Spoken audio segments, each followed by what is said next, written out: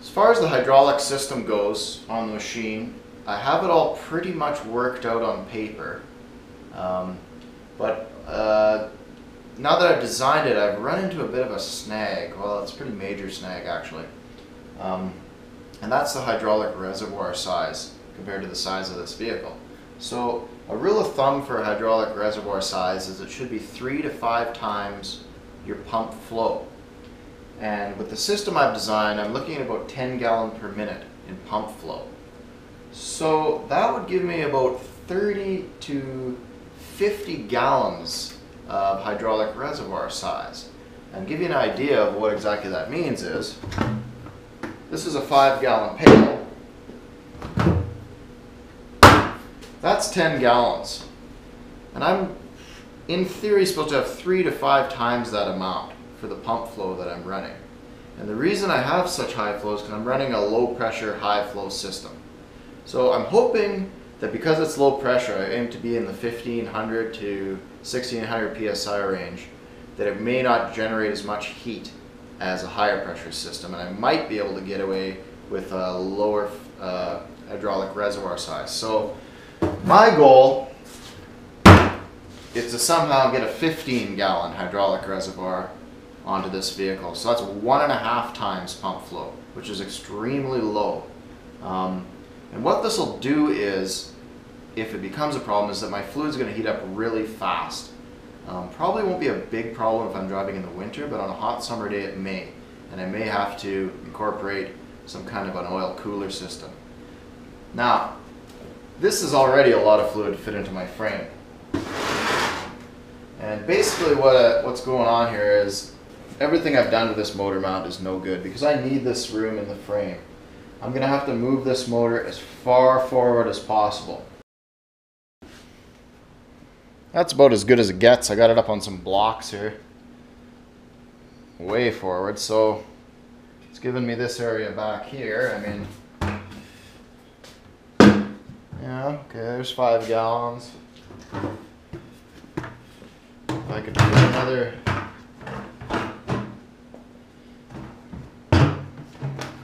five in there.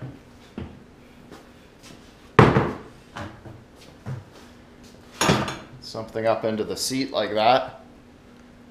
I guess it's possible. I'm to incorporate this area. That's probably five gallons. So, you know, if I expand a tank up into this zone here, I think I'll get there. I'll just make it as big as possible, I guess. I guess I'll start cutting out some templates and go from there. I'm thinking about the tank and I don't need any of this stuff. I'm gonna make the tank part of the frame. And that way I can bring it up here, make it a little bit higher, and then have it actually bolt to the top part of the frame. And that's what's gonna hold the tank in and be the top frame uh, structure. It's gonna save me a little bit of weight and I'll remount the shock to this back area. Started making the tank by just building a template and then plasma cutting the sides out of that. Um, the whole tank is made out of eighth inch plate steel and I just bent everything by hand using the workbench and clamps and pieces of wood and anything I could come across really.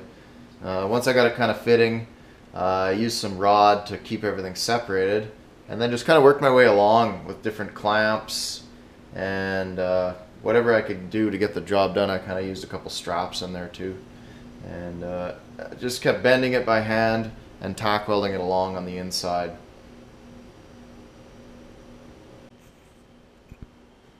Then after I had it all formed up, um, you can see I left about a quarter inch uh, overlap all the way to the outside here. And that's where I'm going to actually weld the tank to seal it. And I'll have to fill it all up with water and to make sure that it doesn't leak. These inside welds are just for the purpose of bending it and getting it all together. You can see these rods that I use to kind of maintain distance. Um, they can be pulled right out. Then I um, welded some bungs into the frame where I had cut it. And I'm secured the tank now to the frame with these brackets on the back and the front. And those will be strengthened right across eventually once I finish welding the rest of the different fittings into the tank I need. So the top of the tank actually becomes part of the frame. Yeah, and I was also able to get the engine remounted in the forward position. Um, made a new mount out of the same plate that I made the tank out of. And it's sitting pretty nice there, nice and tight in the front. And I think I'll have ample room to hook up the hoses and everything else I'm going to need to do with this. But uh, there's so many other things to do yet. I mean, I still have to build exhaust system. I need uh, intake snorkel, all the controls, routing hydraulic hoses, uh, figuring out where I'm going to weld all the bungs into the tank. But I do have a little bit of progress here. Kind of see the machine taking shape anyways. I think getting this tank in the right spot and having the engine where it should be, even though it's kind of one step backward, um, in the end is going to be the right decision. Anyways, I'll keep you posted if I get anything more done.